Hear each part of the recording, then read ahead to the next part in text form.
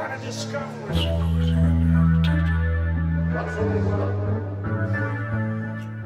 And then you're pregnant, you're pregnant, you put. pregnant, you're. That is real science.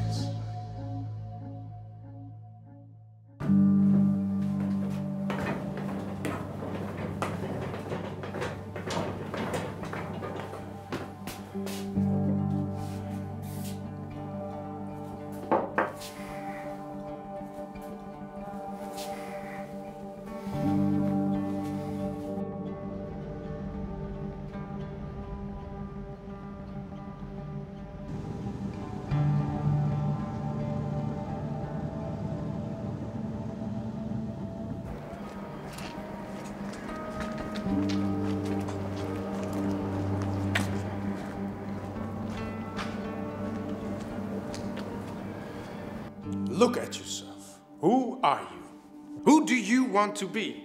We as scientists think we should establish facts, pass them on to society, to politics. But how can we perform scientific research without considering social consequences? If we know that global warming is happening, should we just produce more data, write even more reports? If those who are best